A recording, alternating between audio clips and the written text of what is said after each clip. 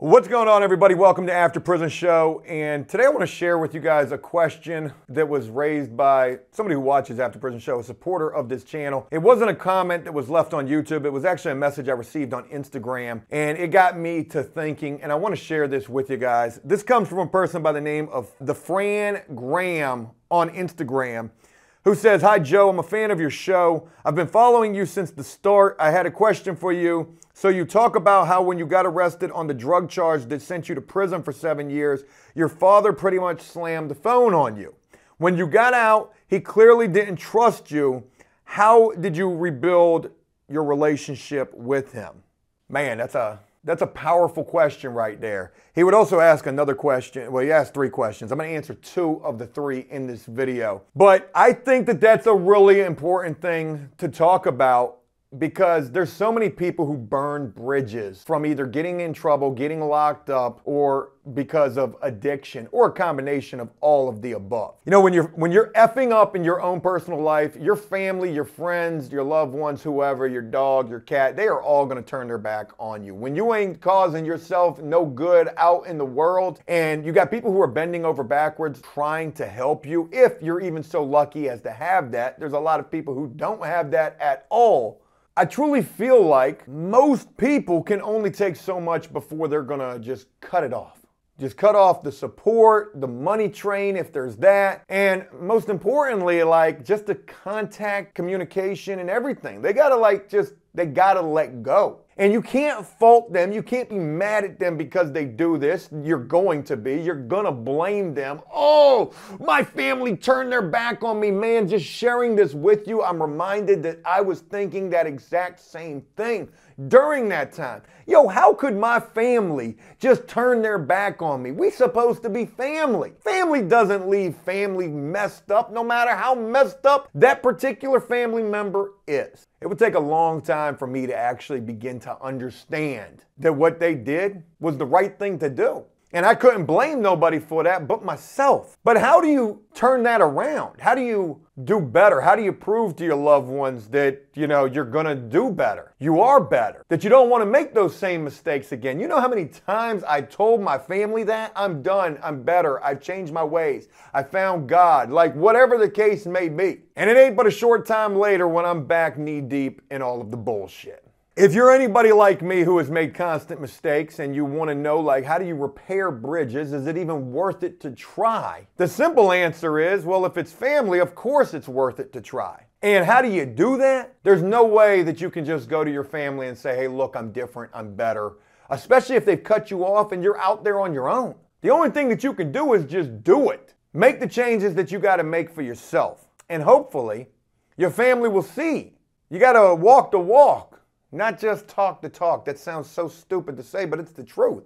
You have to prove to people. You have to regain their trust, and the biggest way that you do that is just to prove it, to do it. Go out there and find work, a steady employment, good employment. Work your way up to good employment if you can't find that initially. Start in a halfway house or a homeless shelter or wherever you got to start at, then rent a room and then try to get you, you know, some kind of a rental. There's a million ways that you can rent right now. You know, there's people who are doing owner financing for these flip houses that look like death traps, but not all of them are that. You know, if you got horrible credit, yo, they gonna rent to you. There's flippers out there right now that are flipping houses. They're gonna rent to you because they trying to beat capital gains tax and they need to hold property for two years or more. Like there's people out there who will rent to you. I, I'm going so deep on this particular topic because I just recently became part of a Facebook page. It's called uh, Hampton Roads like rental properties or something like that. And I thought that this was going to be about flipping and property investment. And truth be told, all this is about is people posting, bitching about the fact that they can't find nowhere to rent and they're looking for a private owner. You know, you keep bitching about the fact that you got a couple of judgments on your credit and you missed, you know, a couple of payments at a couple of places. Ain't no private owner going to rent to you. But that's off topic. In my personal story, you know, when it came to my family, my mother, she washed her hands of me for 10 years.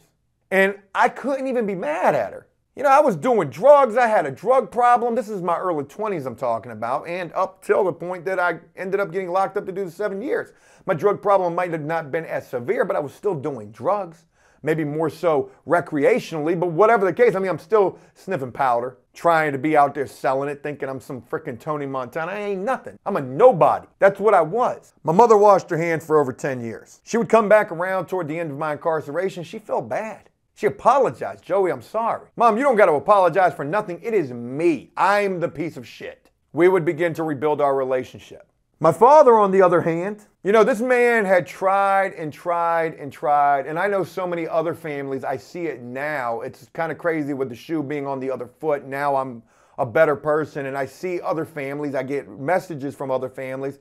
I deal with it on a very personal level as well. And, you know, I see these families that bend over backwards for people who just ain't worth a f- out there getting high, just doing whatever they're going to do, manipulating, taking advantage of, conning, bullshitting just to keep the party going for themselves. If that's what you want to do, that's what you're going to do. Can't nobody tell you, you know, different. Oh, Joe, you shouldn't call people a piece of shit if they're dealing with an addiction problem. You're going to be that. I don't care how that sounds. I ain't got like my cut card is done. I, I there's no there's no there's no dilution to this Kool-Aid whatsoever. This shit is straight Kool-Aid and sugar and water. That's it. I ain't cutting nothing. If you out there and you effing up, you're not just effing up your own life, you're effing up the lives of people around you who care about you. You're risking so much in regards to that. And at some point they got to cut they, they got to cut their losses. And I know people who don't do that, who still continue to get dragged along for the ride and it's it's it's messed up still will bend over backwards, thousands upon thousands of dollars in rehab programs and things like that. When I'm going so far on a tangent right now, and I do, I'm sorry. My father was a totally different story. Man tried, to, you know, he bent over backwards for me.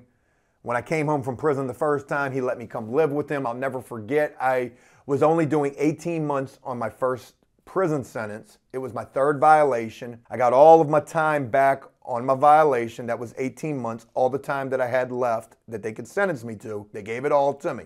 I sat in the jail for 11 months. I went to prison for six months, something along them lines. And right before I was getting ready to get released, my father came to visit me. And I guess he just wanted to do like an assessment to see where I was at. Oh, yeah, Dad, you know, I changed my ways. I'm ready to do it different out here. Man, I came home. I went to probation. I'm trying to find a job. My dad's taking me to all these different places trying to help me find work. I found work within three days. I was working at a marina. But I went to probation, and probation told me, You're done. You don't got nothing to do because I was under the impression that I had six months of mandatory parole time to do. That was a farcity. I didn't have none of that. So I'm out there on my own, no leash at all. And it ain't long before I am right back into the bullshit going out to the bars, finding the plugs, getting in with the fire pow pow. And it was downhill from there, working a job, making $10 an hour. I got laid off because of the recession in 2008. I'm the lowest paid employee. I'm feeling bitter. Oh, they want to fire me. That's messed up. I worked there for 10 months. I gave them my all, which I didn't. I came to work high all the time on e pills. Crazy, crazy time of my life. Was doing a lot of that back then. And, you know, I still tried, you know, to not go so far back overboard. Even went and talked to an army recruiter, told him, hey, send me to Iraq. I don't care. They told me I got to get some college classes and a GED. F that, I'm back in the streets. I tried to get a job at Hardee's. I'd only worked one fast food job prior in my life. I lasted there for two days. Hardee's would not even hire me, give me the pack. My father kicked me out six months after I had come home from prison. And within 10 months of being released, I was locked up again and would end up getting sentenced to the seven years in prison that I served. I will never forget the night that I got arrested, told on myself, tried to spare everybody else, get to the jail eventually, and I get that chance to make that first phone call and I call my father. And I will never forget that phone call. That's what this person, Fran, had mentioned. You know, when I called my father and he, he banged on me, I called my dad from jail. He got that collect call. You've got a collect call from, hey, it's Joe or Jay, whatever I was calling myself back then. My dad answered just to hear what I was getting ready to say. Hey, Dad, I messed up in a big way. I'm facing a lot of time. I need a lawyer. My dad said, "Yeah, I heard your brother. Uh, your brother told us. I don't remember how my brother knew, but he knew. And um, he said you're going to be gone for a long time. Good luck to you." And he hung up the phone. I can't even imagine. You know, I was so upset. Oh my God, I'm, I'm alone. Woe is me was the feeling that I was dealing with right then and there. Such a selfish way of thinking and feeling, but that's what it's going to be when you're in that situation. You ain't going to be thinking about nobody else but yourself. I'm surprised I didn't tell. Let's just be real about it. But I didn't because I thought I was so gangster. You know, I think about how that affected me personally, but I never took into consideration what my father had to be thinking at that moment when I called and told him all that bullshit. I went through my seven years and eventually my father would begin to speak to me again. Man, he's such a good man. A couple of years later, my father would begin speaking to me again. And when I got released from prison, he was there. Not there to pick me up or anything like that, but he was there for me, like supportively. Even gave me a little bit of money to try to help me out when I got released. And I had made a vow during the seven years that I served, long before me and my father even got back into communication. But I made a vow to myself Another selfish thinking, but this is how I had to do it. I said, you know what? Forget everybody else. They should have never gave up on me. We're family. You don't do that to family. You know what? If I end myself right here, if I game over right here, ain't nobody gonna care. They're gonna think it's for the best. F that. I'm gonna go home and I'm gonna do it so good. I'm gonna do it to the max. I'm gonna be so successful. I'm in prison playing house, putting my little scrapbook together or the shoes I'm gonna get and the car I'm gonna drive. Hope. I've mentioned it. You gotta have it. Don't matter if it's dumb or not, you're playing with paper dolls in prison. Your ass needs something to be looking at, to be hopeful of, that what you're gonna go home, some tangible shit that you're gonna go home and try to work toward. And I don't mean going home and getting you a kilo to try to get it that way neither. I came to a decision very early into my incarceration that I was gonna do it totally different. Totally different. I was gonna prove to the world that look at me now, like look at how good I can be, how successful. I'm smart. I'm not as dumb as y'all think that I am. And I'd be damned if I didn't stick to that lucked up with the YouTube thing and have tried to like do the most that I can because of that, in spite of that, with that every day. Never take a moment for granted. Make the most of every day. Like I freaking got those words tattooed on my side. What I say at the end of every video. If you got people who have turned their back, be selfish. Prove it to yourself first, and then they're gonna see it. And they're gonna be proud of you. And you know how motivational that's gonna be? To have people be proud of you for once in your life? When was the last time you had that? That'll that'll fill you with some hope. Oh, they're proud of me now? Shit. Well, watch how much more proud I can make them.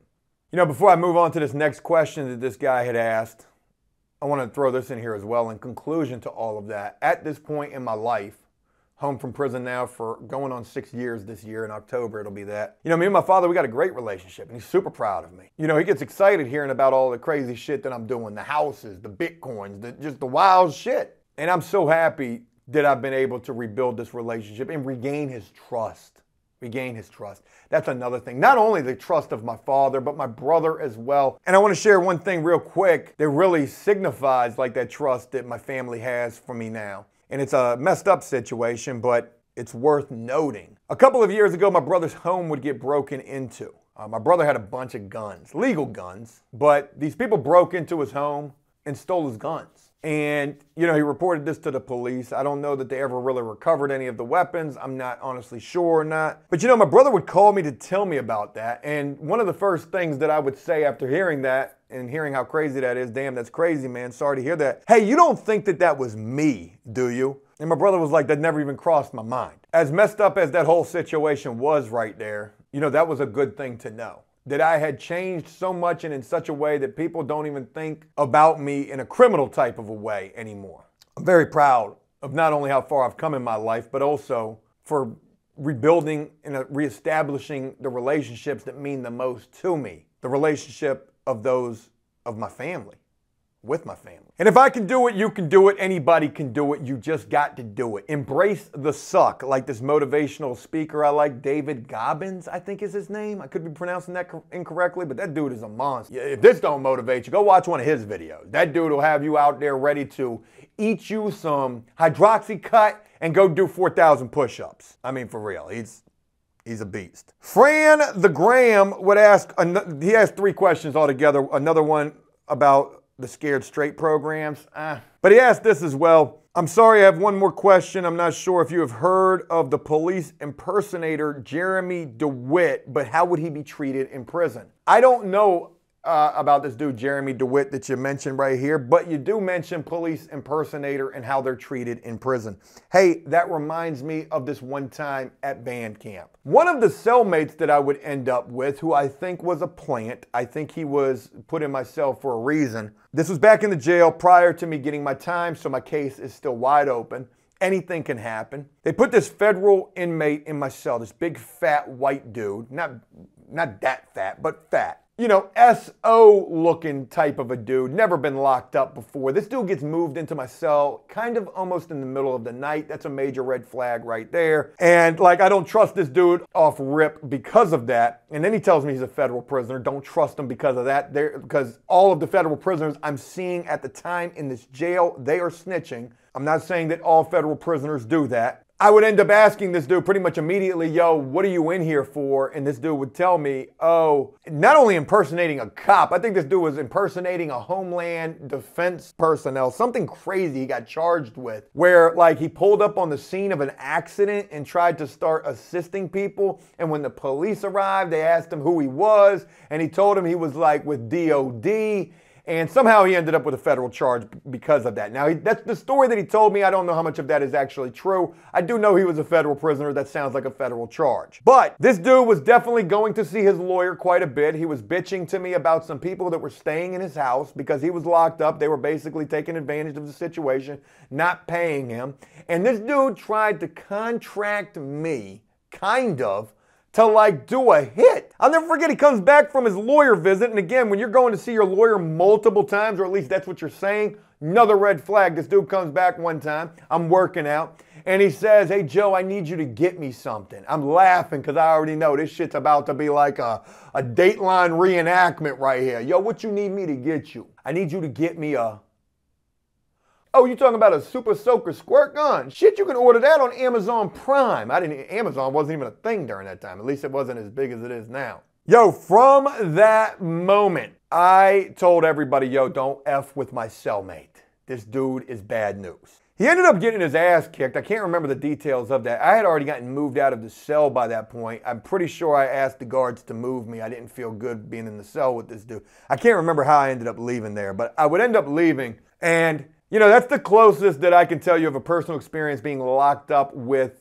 somebody impersonating law enforcement. Now, you know, add to that that this dude was a snitch, hands down, he was definitely that, was willing to do whatever it took to get out of the bad situation he was in, and he got his ass kicked. I think if I can remember correctly, he was running his mouth, somebody whooped his ass, good for them. But when I think about like how would a person who's impersonating a cop be treated in prison, now I don't know anything about this guy that you're asking me about, it only felt right that I looked this guy up. Florida man notorious for impersonating cops arrested again. He was taken into custody during a traffic stop after an Orange County Sheriff's deputy noticed motorcyclists dressed as law enforcement.